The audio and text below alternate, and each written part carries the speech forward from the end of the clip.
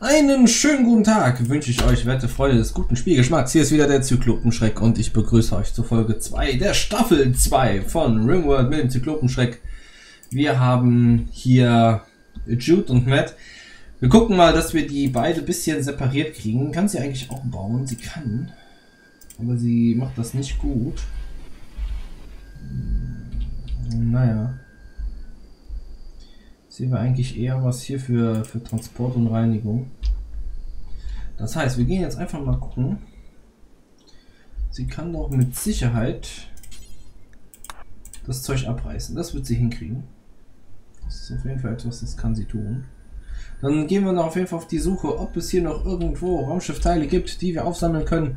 Denn wir benötigen die auf jeden Fall im Laufe des Spiels. Und es ist doof, wenn wir dann wenn wirklich viel los ist, wir die dann suchen gehen müssen.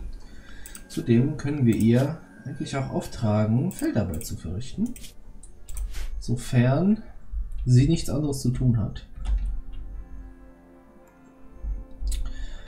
Ich sehe jetzt hier aber keine weiteren Raumschiffteile. Scheint wohl doch alles recht nah beieinander runtergefallen zu sein. So, Stinky soll die Gemeinschaft heißen. Kleinstadt der Akrobat. Ja, komm. Kleinstadt der, aber das war nicht der Akrobat, sondern der Stinkies. Kleinstadt der Stinkies. Auch wenn es ja keine kleine Stadt ist, dafür haben wir noch zu wenig Bewohner. Es scheint aber auch nicht, außer hier ein bisschen Schlacke, das ist aber nicht so schlimm, die lassen wir erstmal liegen. Nö. Hier ist noch ein Raum. Nö, da scheint wirklich nichts zu sein.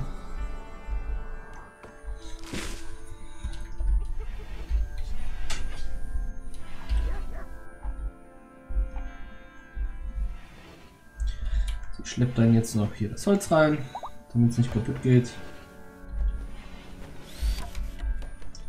Da oben war ja auch noch was zum Schleppen. Oh, da ist ein Fuchs. Ein Rotfuchs. Ach ja, genau. Wir haben hier die Bauteile, wir haben dann noch das Metall von dem Raumschiffstück, welches abgestürzt ist. Er baut einen Schlafraum. Dann kann eigentlich er sein Bett schon rüber transferieren und den Kongo gleich mitnehmen. Damit wir dann sie nicht mehr so stören.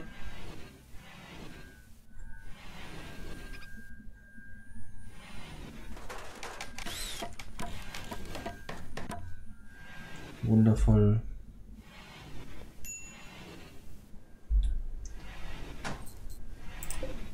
Das heißt, das ist auch wieder sein Bett.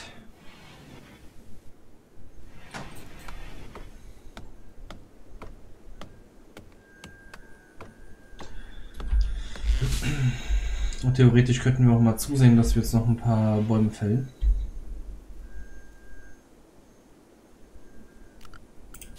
Vielleicht auch gerade hier die Bäume, die hier so in der Umgebung sind. Und wir brauchen auf jeden Fall ein bisschen mehr Holz für noch ein paar Gebäude.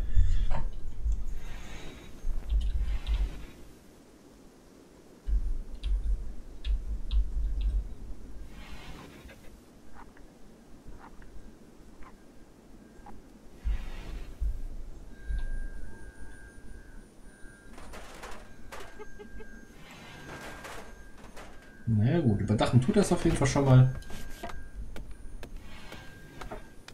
Holz hat er ja auch direkt da. Schlaues Bürchen.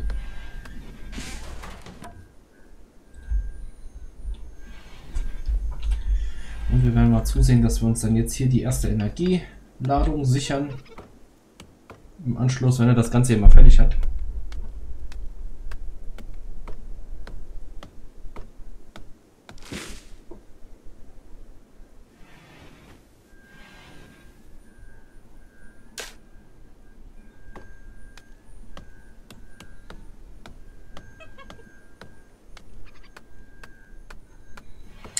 Das hier soll dann im Endeffekt unsere Safety Zone sein. Das heißt, werden wir angegriffen, werden wir unsere Leute hauptsächlich hier postieren, damit wir dann von hier aus rausballern können. Wir werden dann hier außenrum noch äh, vereinzelt die Selbstschussanlagen hinsetzen. Und damit äh, sollten wir eigentlich in der Lage sein, uns gut zu wehren.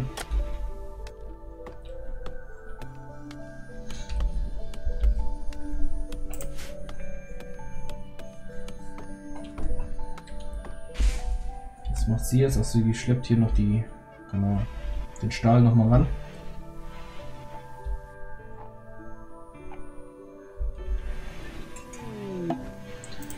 Eine Sonnenfinsternis, die plagt uns jetzt am Anfang nicht besonders. Aber Matt geht jetzt schlafen. Und Judith macht ein bisschen weiter. Die Jude. Gut, Feldarbeit kann sie dann ja bei Bedarf machen, wenn sie Fetch geputzt hat. Sie geht bei ihm auch ein bisschen putzen da. Ja.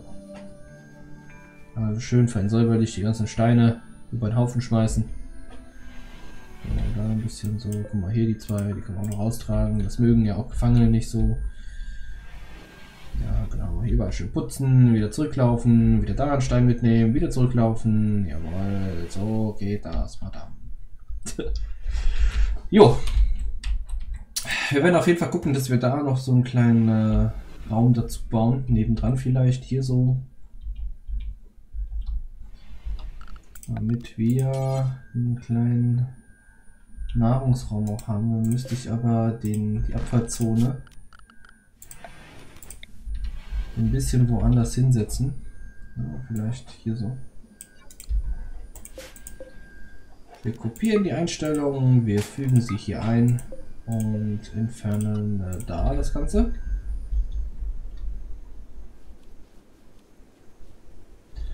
Wird hier schön um die Steine sauber.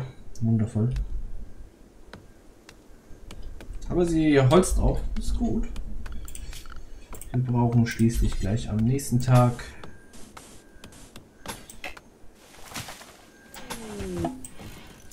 eine Vorratskapsel. Nur noch ein paar Fälle. Das ist jetzt nicht so die Welt. Na, wo waren wir denn? Ah, wir sind oben. Da. Bringt sie dann auch schön brav mit. Und dieser Tisch, der wird dann hier hingesetzt. Dahin.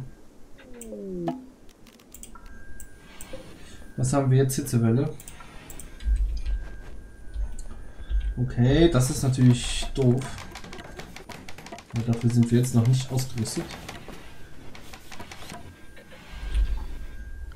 Heißt, wir brauchen jetzt dringend Strom. Werden hier eine Solaranlage hinsetzen. Wobei ja, direkt hier hin. Zwei Solaranlagen. Dann Kühlgeräte.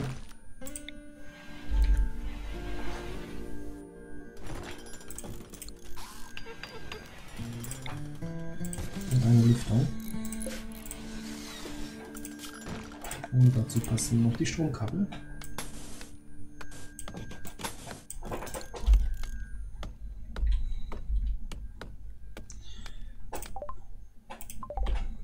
draußen schon 42 Grad.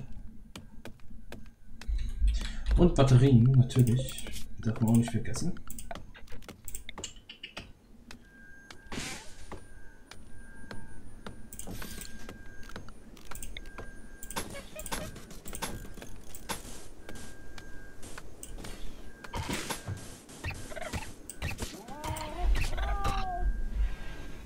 Was wird denn da gerade umgebracht?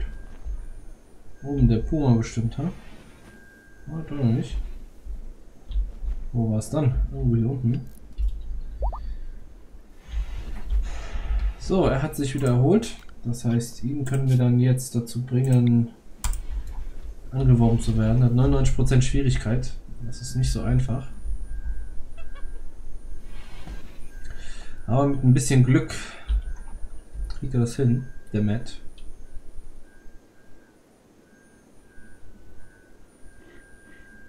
0,5%ige Chance. Boah. Das wird ja nahezu nix. 7, sie hat sogar 10.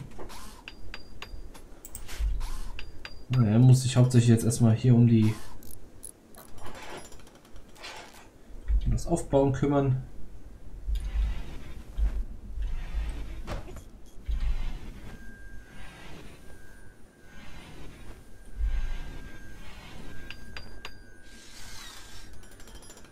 Gibt halt noch ein paar Mal gestörter Schlaf, bis das alles hier soweit gut ist.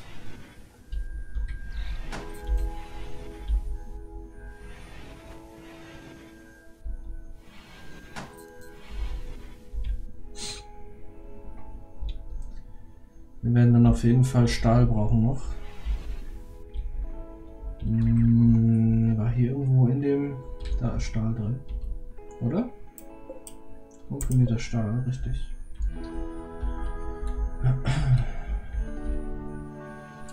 Scheint wohl der nächste zu sein. Hier sind Bauteile, hier brauchen wir Stahl.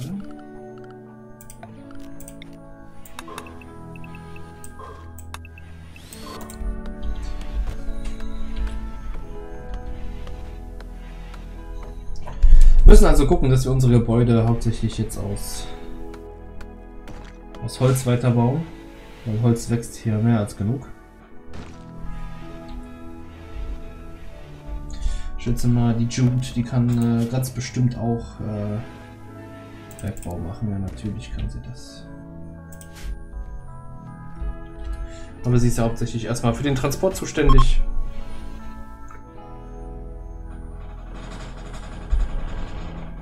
Um 0 Uhr ist auch die Sonnenfinsternis pünktlich vorbei. Haben Sie eine bessere Chance bei ihm? 0,5 auch. Hm.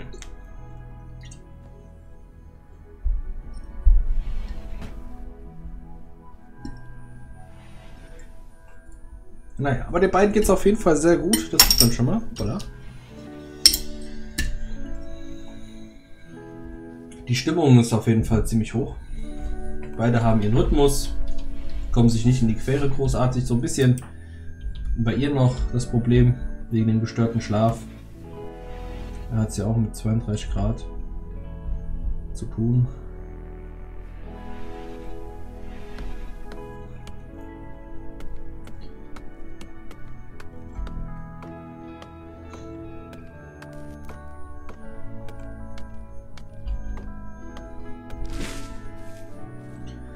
Gut, sie kümmert sich um die Farmarbeit. Der Matt, der wird gleich zusehen, dass er hier alles aufgebaut kriegt.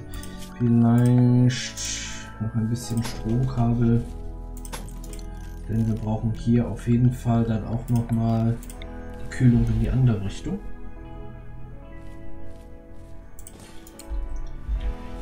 Für den Fall, dass wir mal nicht eine Hitzewelle, sondern eine Kältewelle kriegen.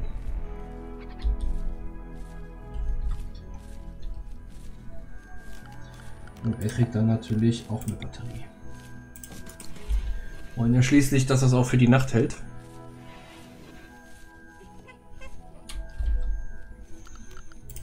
Und beide kriegen ein Lämpchen.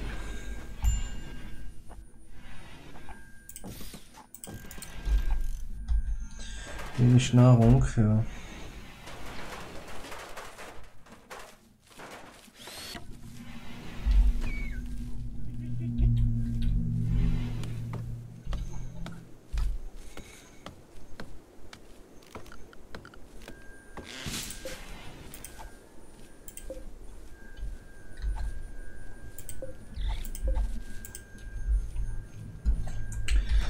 Bäume da drin, die nehmen wir auch mal mit. Wir haben ein Gebiet freigelegt. Genau.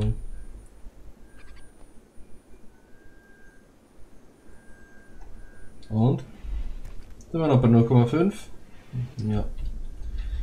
Ändert sich nicht so schnell. Wahrscheinlich werden wir den einfach als Sklaven verkaufen. Sollte mal ein paar Händler den Weg hierher finden. Wir haben tatsächlich nicht mehr viel Nahrung. Sechs Nahrungsrationen noch. Also werden wir hier einen Schlachtertisch bauen.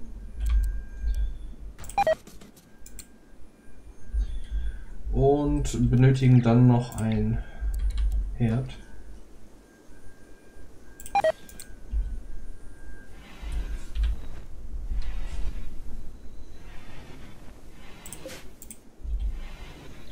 Wir müssen dann zusehen, dass äh, Jude als Jägerin. Na gut, sie ist auf jeden Fall besser als er. Wenn dann die Tiere jagen geht. Sowas wie dieses hier.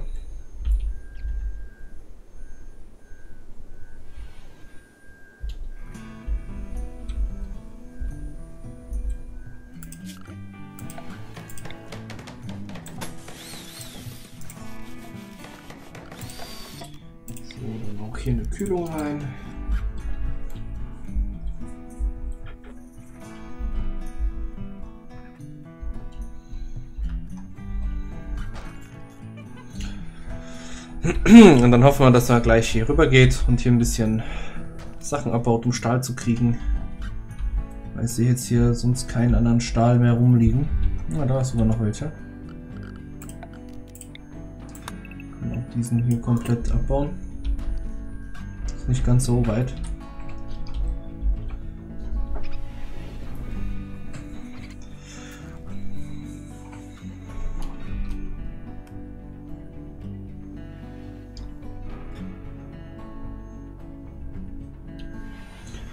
Jude ist auch schon wieder wach. Sie sammelt fleißig.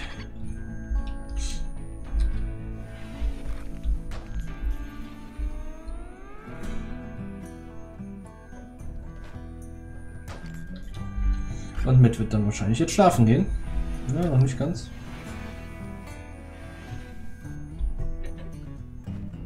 Gibt dem Reizhaus erst noch mal was zu essen.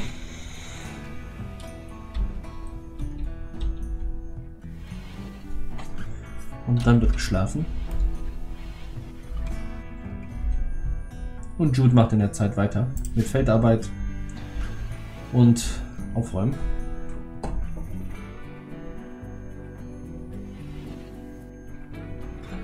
Und Adelwerbung natürlich.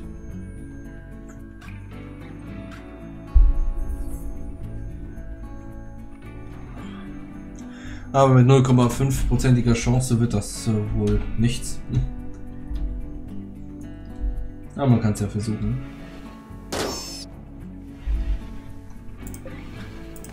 Aufgaben, Schlachte Kreatur für immer. Los geht's.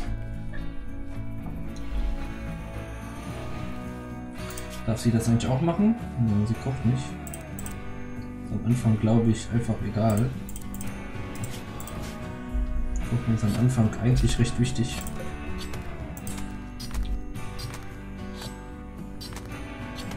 Sie kann doch bestimmt auch bauen. Dann geben wir das auch erstmal hauptsächlich als Arbeit vor, dass sie uns anfängt mal den Stahl abzubauen.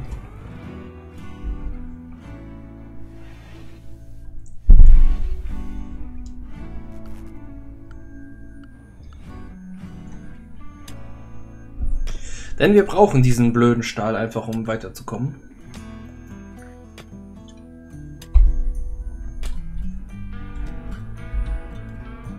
Vier Nahrungsrationen. Und ein bisschen Fleisch. Also wir könnten ja auch wieder ernten. Die sind ja auch erntereif.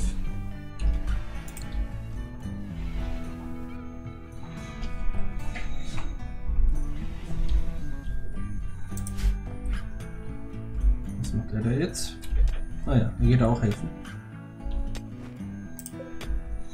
Doch nicht helfen, er nimmt einfach nur den Stahl mit. Diese faule Socke lässt die Frau da kloppen.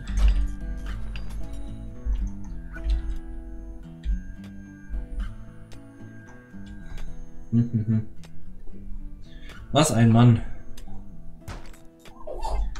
Der gute Matt. Und er nimmt sich ja noch nicht mal das ganze Stahl, ne? Er nimmt sich immer nur so ein bisschen.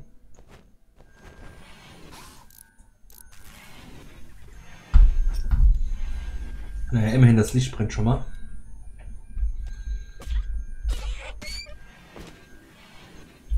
Aber der Nasen gerissen.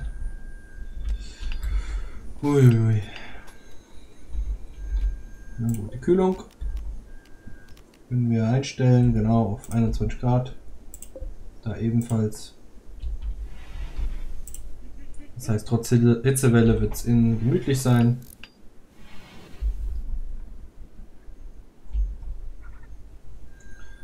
muss halt nur zusehen, dass er das Ganze auch gebaut kriegt.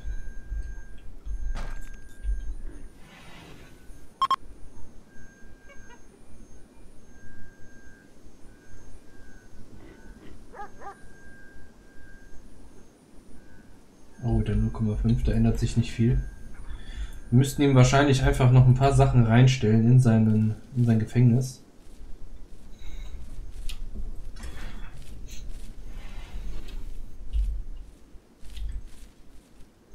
Aber es ist auf jeden Fall immer was zu tun. Fehlt einfach nur neuen Stahl.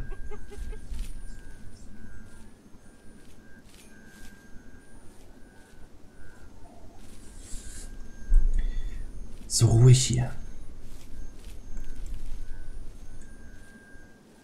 Kongo sucht sich einen schönen Baum. Ist aber auch so doof. Man hätte auch mit einem Hund starten können, aber nein, man kriegt einen Affen. Der Hund hätte einem wenigstens alleine noch ein bisschen was gebracht.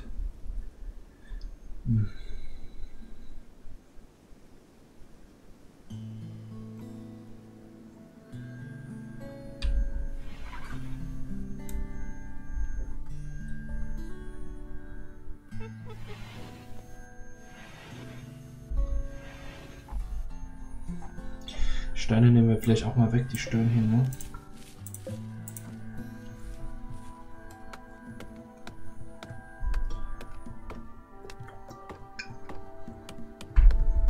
Achso, Entspannungsmöglichkeit benötigt, stimmt.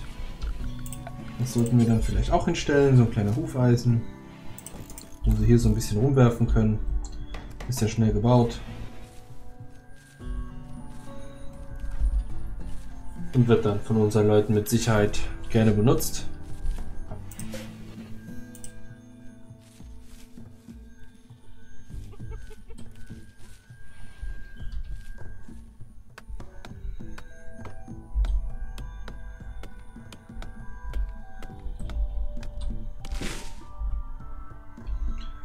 Mit verdünnisiert sich. Biber! Boah. Mein Gott, sind das viele. Wir werden sie auf jeden Fall alle töten müssen. Theoretisch könnte Jude, wenn sie ja nachtaktiv ist, die gerade so umlegen. Das müsste doch gut hinhauen.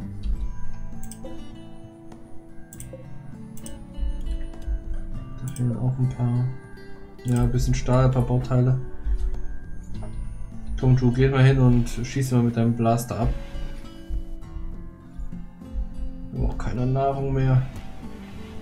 Außer die rohen Beeren.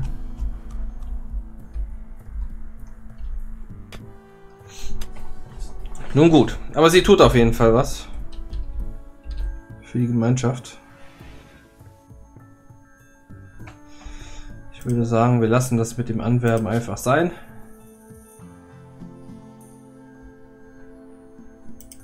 0,5% Chance sind einfach mal gar nichts. Lohnt sich also nicht, die Zeit und die Wege dahin zu verschwenden, während sie diese anders nutzen könnten.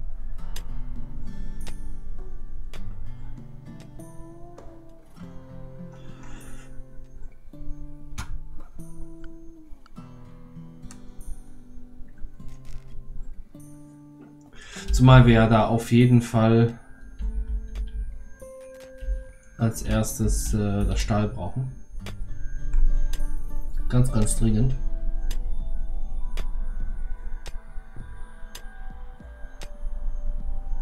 Ah, sie braucht halt ewig. Matt, komm, mach mal was hier. Schnapp dir mal unten das Zeug und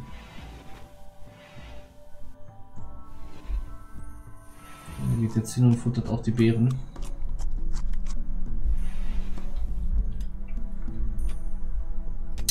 Geht hin, holt sich das Stahl. Ist ja auch schon ein bisschen was angesammelt.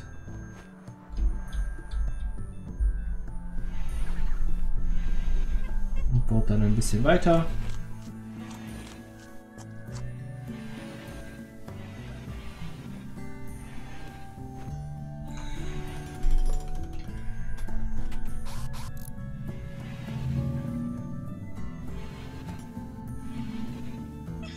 Theoretisch könnten wir das auch einfach abbrechen und schon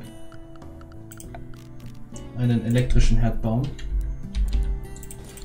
Denn äh, dieses bisschen Strom haben wir auch noch hier rüber gebracht. Wunderbar. Und wir haben dann jetzt hier die Möglichkeit auf minus 19 Grad runterzukühlen. Oh, ist ja nicht viel, sondern nur so ein kleines Loch. Ähm, runterzukühlen und damit zu sorgen, dass wir jetzt hier schon unsere Nahrung äh, auf jeden Fall ansammeln können.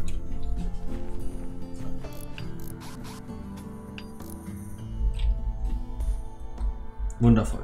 Jude geht schlafen. Ist ja schon 11 Uhr.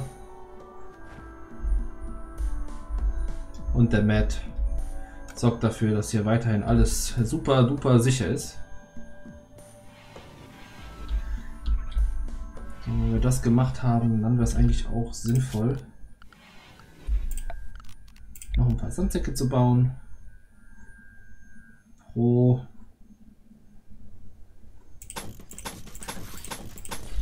pro Seite vielleicht hier so ein.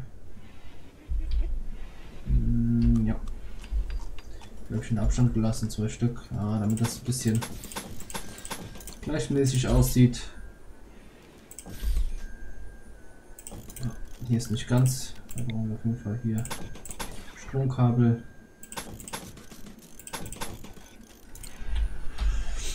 Und können damit dann auf jeden Fall uns äh, gut verteidigen.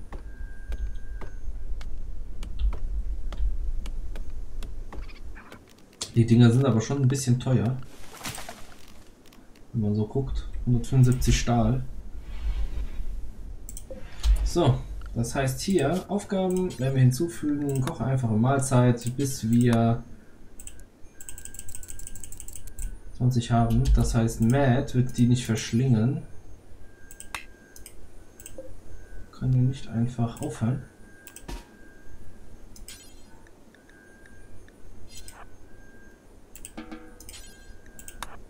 Kocherherd elektrisch, wunderbar. So macht man das. Dann hat er wenigstens die Mahlzeit, muss das Ganze nicht äh, roh essen.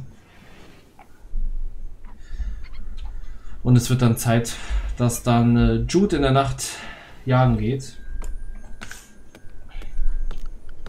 Heißt also, dass wir jetzt die Arbeiten schon so langsam zumindest ein bisschen aufteilen. Wie man sieht hier, unser Kerl, der ist einfach weggelaufen. Der Hugh, der wollte einfach nicht bei uns bleiben, ist, ist halt weg, es macht aber nichts. Wir werden jetzt äh, mal gucken, die Arbeit ein bisschen aufteilen. Also Feuerwehr machen auf jeden Fall beide, je nachdem wer dann gerade wach ist. Passt eigentlich, dass einer nachts arbeitet, einer tags arbeitet. Bei Patient auch auf jeden Fall eins. Pflege, wer ist der bessere Arzt von beiden? Eigentlich beide gleichmäßig, das heißt bei Verletzungen sollten die sich auf jeden Fall aufteilen. Bettruhe ist auch ganz wichtig einzuhalten. Das Schalten das ist theoretisch erstmal egal. Das brauchen wir nicht. Beide Glocken hier oben. Das Aufsehen, naja. Das kann dann einer machen. Jude ist kurz vorm Zusammenbruch. Okay. Kochen ist gut, wenn Matt das macht. Das heißt, Jude müsste sich darum nicht so kümmern. Das Jagen macht sie allerdings.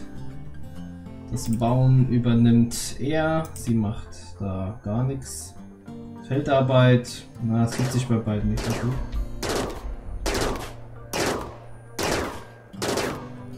Uiuiui. Sie trifft aber echt ein Schwarze.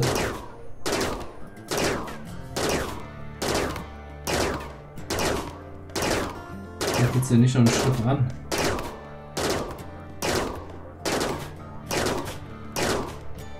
Heilige. Okay, ich sag mal nichts. Zu dem, was man hier gerade sieht. Äh, Feldarbeit. Ja, das ist eigentlich für beide gedacht. Bergbau kann gleichmäßig sein. Wobei er ein Stück schneller ist wie sie. Aber es macht nichts. Feldarbeit, beide gleichmäßig. Schmieden, das ist etwas Schneidern, das kommt erst ein bisschen später. Handwerk auch nicht so tragisch. Transport, ja, machen wir später. Und Forschen ist erstmal ganz egal. Eine Rettungskapsel mit einem Manuel. Ganz unten rechts in der Ecke. Dann komm, dann gehst du ihn halt retten, wenn du unfähig bist, diesen Biber abzuschießen. Wir haben uns hier schon jede Menge Holz weggefressen, wenn man so schaut. Die Biber. Sind die weitergezogen oder haben sie sich einfach nur verteilt? Ah, die haben sich einfach nur hier nach in den Süden verteilt.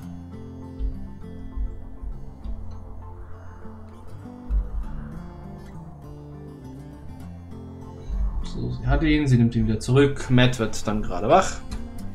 Kümmert sich weiter um das Bauen von Stahl. Das Abbauen von Stahl.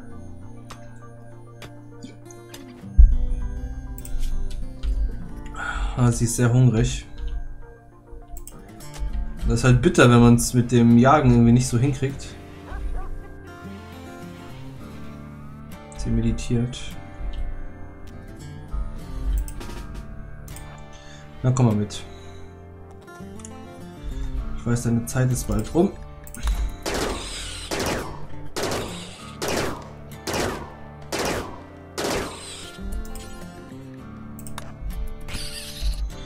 So. Tötet man einen Biber. Geh dann einfach noch ein bisschen näher ran, dann schaffst du es auch. Geht den nächsten Biber töten.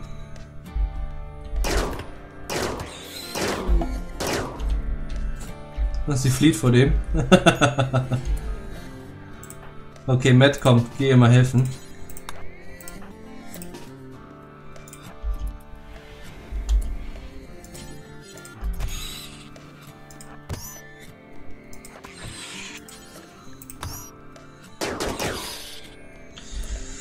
So macht man das, meine zwei Freunde. Okay, Matt geht sich erstmal hinlegen. Sieht's bei ihm aus? Oh, er hat leicht blutende Wunden. Oh, ein Überfall. Aus dem Süden. Na dann, kommt zurück. Wird zwar jetzt noch nichts mit Schlafen, Jude. Tut mir leid.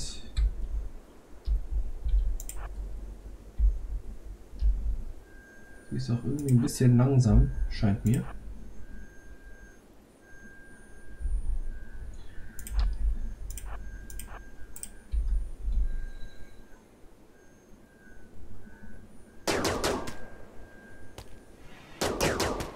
Okay, Zeit ihn besiegt.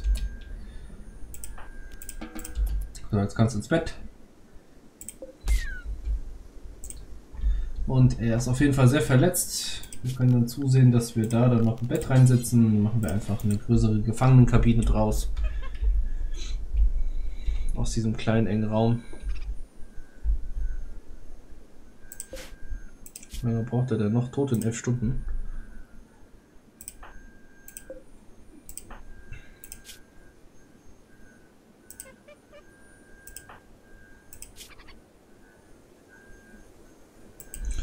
Sie hat extrem Nahrungsmangel. Die soll ja nicht begraben. Sie ist auch kein Koch. Das heißt, er muss auf jeden Fall mal weitermachen. Die Biber schlachten. Hilft alles nichts, wir brauchen die Nahrung, sonst stirbt sie mir auch noch weg.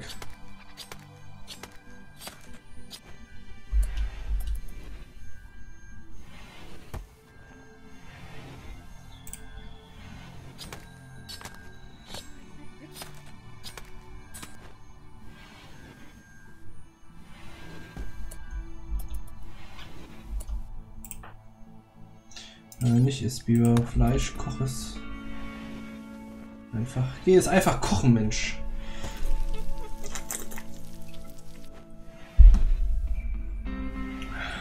Dafür bist du doch Koch.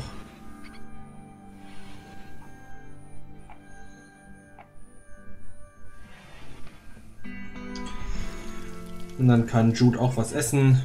Den Kerl. Naja. Verblutet der schon? Ja, sechs Stunden noch, es wird knapp. Wir müssen auf jeden Fall die Nahrung für Jude fertig machen. Und Jude, ja, es ist 19 Uhr. Na komm, du hast hier nur kleine Probleme. Ist einfach Mahlzeit und dann passt das.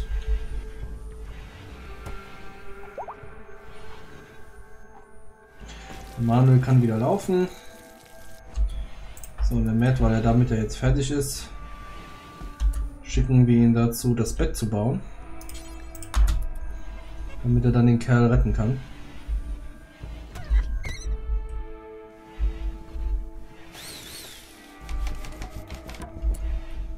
So. Ich weiß gar nicht, ja, drei Stunden wird knapp.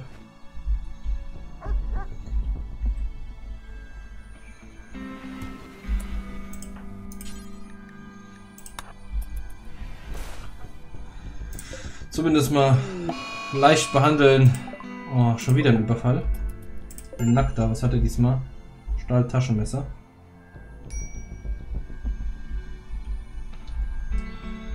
Oh, wo kommt er? Von ganz links oben. So, wir gucken gerade mal Körper. Naja gut, das wird er schon hinkriegen. Jude hat Nahrungsmangel. Naja gut, das wird jetzt nichts helfen. Sie muss auf jeden Fall raus und diesen Kerl hier das Handwerk legen. Happy. Okay, den hat sie erledigt. Kann sie wieder hinlegen. also mit dem Energiegewehr, da geht das echt gut. Ich bräuchte halt nur mal einen gescheiten Schützen. Wie sieht es bei ihm aus? Er ist ein bisschen leichter anzuwerben. Hat ihn, glaube ich, jetzt auch soweit versorgt, genau. Das heißt, wir brauchen noch ein Bett. Ach, die Gefangenen hier, die stapeln sich hier wirklich, wenn es so weitergeht. Ich glaube, ich habe das gerade äh, falsch gebaut. Jawohl.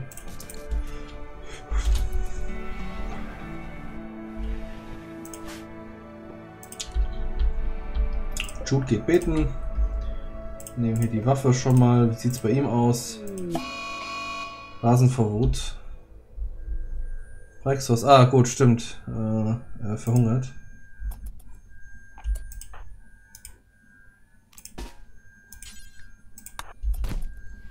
Oh, ich habe die Waffe im Gegensatz zu ihm.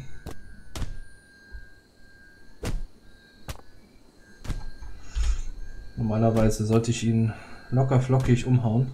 Kongo kommt dazu. Der Retter in der Not. Kongo, hau ihn um. Jawohl.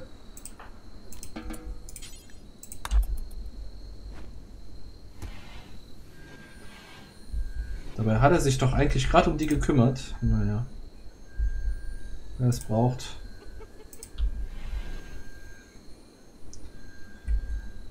So, Matt, was macht der jetzt? Geht sich schon was essen holen. Das ist echt bitter mit nur zwei Leuten. Du kriegst sie nicht richtig zusammen. Dass irgendwie alles klappt. Naja gut, wir haben auf jeden Fall jetzt schon wieder ein bisschen viel gemacht. Ich schätze mal, er hat sich jetzt einigermaßen beruhigt. Es hat einen mittleren Nahrungsmangel. Ähm, naja, das werden wir hinkriegen, wie wir weitermachen, ob wir ihn am Leben lassen oder nicht. Das sehen wir dann in der nächsten Folge, wenn es wieder heißt Rimworld mit dem Zyklopenschalk. Bis dahin, alles Gute und tschüss.